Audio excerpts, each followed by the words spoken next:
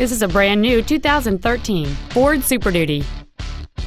It has a 6.7 liter, 8 cylinder engine, a 6 speed automatic transmission, and 4 wheel drive. All of the following features are included front multi stage airbags, rear seat child proof door locks, a traction control system, an anti lock braking system, and a turbocharger. Contact us today and schedule your opportunity to see this vehicle in person.